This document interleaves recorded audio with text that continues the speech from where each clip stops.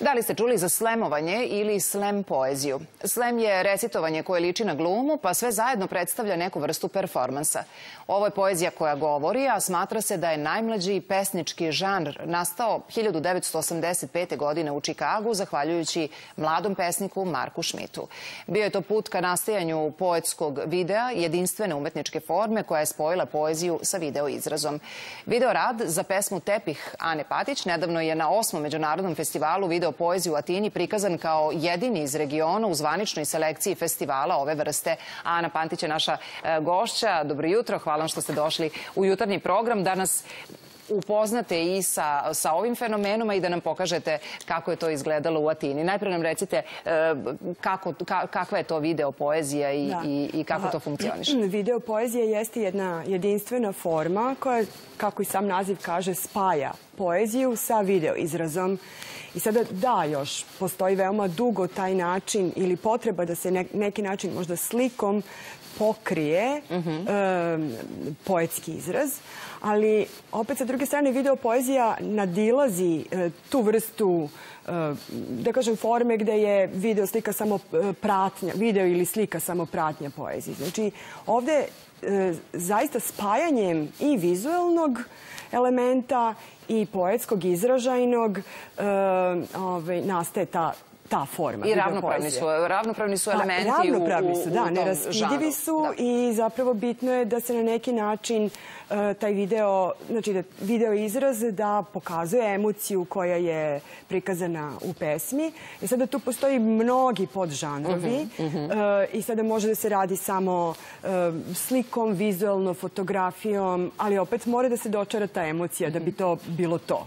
I šta sve sadrži tepih? E, pa Tepih je više imao taj filmski izraz. Meni i Maji Đorđević, sa kojom sam zajedno radila video, e, je bilo zanimljiva... Bila je zanimljiva ta slika iz same pesme, moje pesme. I, mislim, ja sam imala odmah tu viziju kao te osobe, jer svi mi, ja bih rekla, imamo neki e, tepih, imamo neku fasadu, zato ova e, lirska subjetkinja, mhm. kako da je nazovem, u visokim štiklama hoda po e, asfaltu, po nekim ruiniranim predelima, jer ona, one zapravo predstavljaju fasadu, kako se ona predstavlja, kako ona je sigurna i hoda po tim ove, svim putevima kojima može da hoda, a sa druge strane vuče sa sobom ono što prikriva, ono sa čime ne može da se izbori. E, tako da u tom smislu smo E, mi se odlučile za taj e, filmski izraz u ovom A sve to, sve to treba da bude razumljivo i prihvatljivo i bez dodatnog pojašnjenja i objašnjenja ovako pa, rečima. Da. Što ste vi uspele i kako da. je to izgledalo u Atini? Pa, mi smo poslale na konkurs koji je otvoren bio za, na taj osmi festival video poezije u Atini i dobila smo odgovor da je ušao u zvaničnu selekciju ja sam zaista srećna što sam mogla da upoznam ljude iz, mm -hmm. sa celog kontinenta i neke ljude koje sam onako pretraživala dok sam, se, dok sam istraživala uopšte o video poeziji iz Austra, Australije. Da, Australije. Ove, ovaj, sam uh, upoznala i svi su jako raspoloženi za saradnju. Uh, festival je trajao uh, dva puna dana, bio je zaista bogat i osim ta 22 filma koja su bila izabrana znači, i svaki je predstavljao zapravo jednu zemlju. Mislim, mhm. nije, nije bilo takmičarskog karaktera, ali sam ulazak u zvaničnu selekciju e, dosta znači.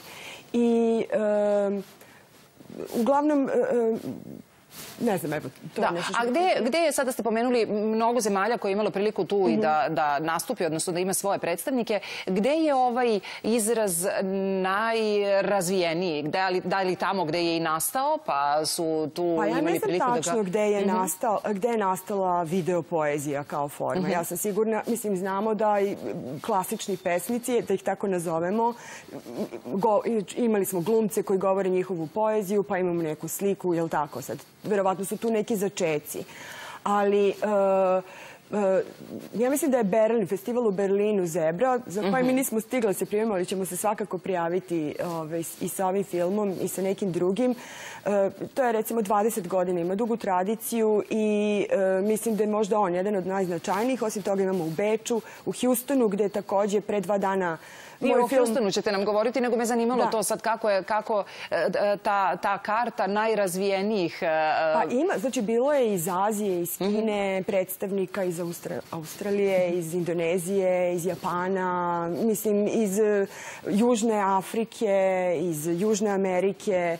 Tako mhm. da je to jedna bogata, zaista bogata scena. Ja zaista mislim da to je veliki potencijal. Da, inspirativna, tako da je Inspirativna, da, i spaja prosto više umetničkih uh, izražaja. Da, onima kojima jedan, jedan izraz više nije dovoljan, mogu da ga Pa jeste, živimo u tom vremenu u kojem slika je bitna, u ali. Tako je, ali moraju sva čula da budu zadovoljni. Jeste. Mislim, što se mene tiče, poezija je najesencijalniji vid izražavanja, književnog, da kažem, literarnog izražavanja, a video opet ima taj e, i filmski, ima, mhm. može da ima i performerski moment, e, može da ima i glumački, ali ne mora. Tako da, mislim, spajanjem ta dva izraza, mislim da dobijemo zaista jednu jaku, upečatljivu mhm. formu koja može da se konzumira mhm. i na... A gde se može da se konzumira kad nisu, kad nisu festivali? Kad nisu festivali, pa postoje e, određeni pa da kažem portali, recimo uh, Moving Poems bih istakla uh, kao jedan od um, uh, portala zapravo na kojima možemo vidjeti. Da, da, mhm. da.